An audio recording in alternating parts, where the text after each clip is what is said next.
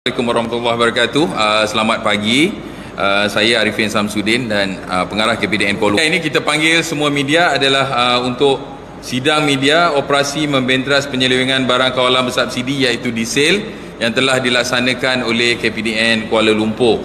Yeah. Jadi operasi ini uh, khusus uh, membentras penyelewengan barang kawalan bersubsidi atau diesel yang kita kenali juga sebagai ops tiris. Jadi tujuan utama kita adalah untuk memastikan subsidi diesel sampai kepada pihak yang layak uh, menerimanya dan dapat dinikmati oleh rakyat negara ini.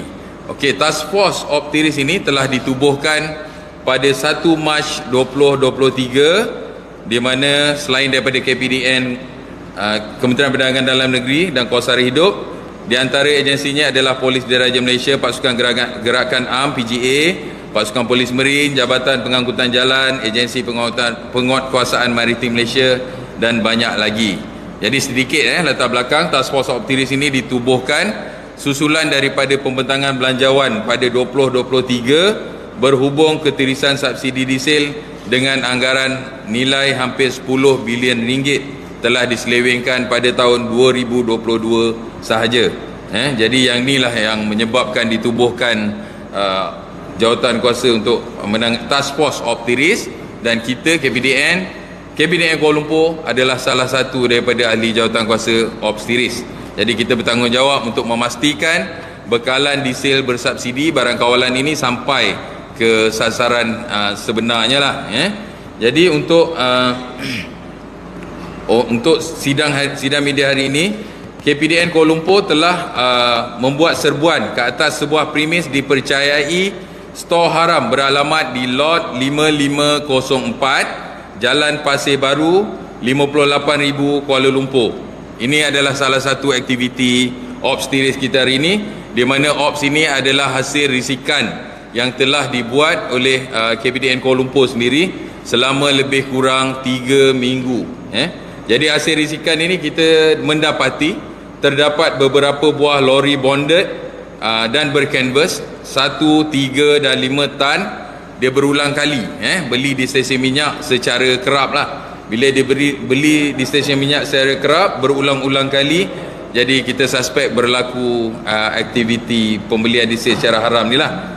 And then uh, lokasi dia di, di sekitar stesen minyak sekitar jalan Kelang Lama dan kita dapati diesel yang dibeli akan dikumpulkan di lokasi tempat kejadian dipercayai stor haram sebelum dipindahkan ke sebuah lori kontena 20 tan yang kemudiannya dihantar ke luar wilayah Persatuan Kuala Lumpur. Jadi pada hari kejadian uh, pasukan serbuan terdiri daripada 13 pegawai dan anggota KPDN Kuala Lumpur bertindak menyita sebuah satu motor lori jenis kontena 20 kaki. Ha, ini lori yang kita sebutkan tadi daripada lori-lori kecil ni dia akan alihkan dia akan pindahkan melalui lori kontena uh, kontena 20 kaki tadi dengan muatan cecair diesel dalam flexi bag dianggarkan berjumlah 24,000 liter. Banyak eh 24,000 liter ni. Dengan anggaran nilai dia adalah RM56,400 ringgit.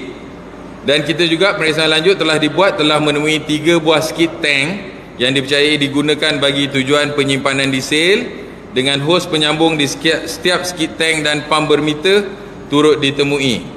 Bagaimanapun uh, berdasarkan apa yang kita temui cuma satu skid tank saja mengandungi cecair di syaki diesel yang dianggarkan berjumlah 4073 liter dengan nilai sebanyak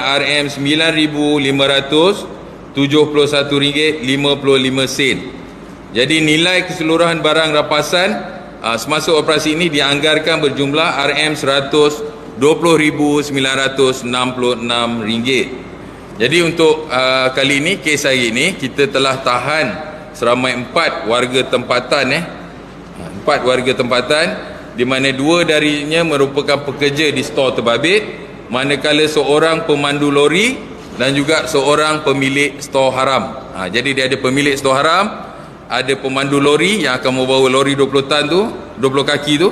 Dan juga uh, dua orang pekerja di store. Keempat-empatnya kita tahan dan kita siasat di bawah Akta Kawalan Bekalan 1961 dan Peraturan-Peraturan Kawalan Bekalan 1974 kerana disyaki menjalankan urus niaga barang kawalan iaitu diesel tanpa memiliki lesen yang sah dan juga disyaki menyimpan barang kawalan di tempat yang tidak dilesenkan ya jadi ini adalah satu diambil subsidi daripada pengguna. Maknanya orang yang tak sepatutnya telah disalahgunakan subsidi. Yang kedua dia letak barang kawalan ini di tempat yang tidak dilesenkan. Boleh mendatangkan bahaya kepada lokasi berhampiran uh, tempat yang tidak dilesenkan.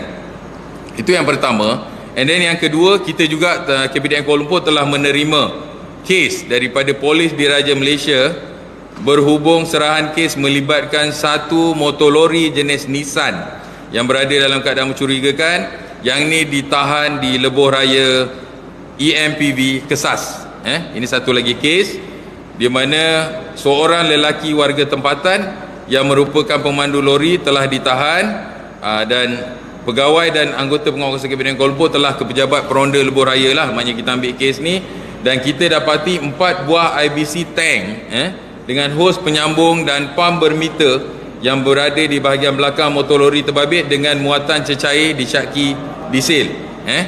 sepasukan pegawai dan anggota pengawasan kabinet KL telah bertindak menyita sebuah satu motor lori jenis Nissan empat buah IBC tank dan cecair disyaki diesel yang ini berjumlah 1000 liter dengan anggaran nilai RM 2,350,000 jadi untuk kes serahan polis ini saja nilai keseluruhan adalah sebanyak RM 32,950 ringgit eh? jadi untuk kes ini seorang lelaki warga negara tempatan iaitu pemandu lori telah ditahan juga di bawah Akta Kawalan Bekalan 1961 kerana disyaki menjalankan urus niaga barang, barang kawalan tanpa memiliki lesen atau permit yang sah. Eh? Jadi di kesempatan ini saya mewakili KBDN Kuala Lumpur dan pegawai-pegawai saya mengucapkan terima kasih juga kepada PDRM dan semua agensi pengawasan lain yang telah membantu kami dalam aktiviti pengawasan undang-undang khususnya untuk operasi Ops Tiris. Jadi kerjasama ini kita harap dapat membantulah KPDN Kuala Lumpur secara khususnya dan KPDN secara amnya untuk membentras aktiviti penyelewengan barang bersubsidi diesel dengan lebih uh, efektif lah eh. Setakat ini untuk uh, tahun ini telah 15 kertas siasatan melibatkan tindakan obstetris telah dibuka. Dengan nilai keseluruhan barang rampasan adalah sebanyak RM 6. RM 659,712 ringgit ya? Jadi kita bagi amaran keras pada mana-mana pihak supaya tidak melakukan aktiviti ini. Macam yang saya cakap yang pertama dia menyalahgunakan subsidi yang sepatutnya untuk uh, diterima oleh orang yang sepatutnya. Dan yang kedua membahayakan lah, membahayakan uh, membahayakan di mana tempat penyimpanan barang-barang tersebut. Jadi untuk kesalahan ini eh di bawah Akta Kawalan Bekalan 1961 akan didenda tidak melebihi 2 juta ringgit dan bagi kesalahan yang kedua atau berikutnya akan didenda tidak melebihi 5 juta ringgit ya.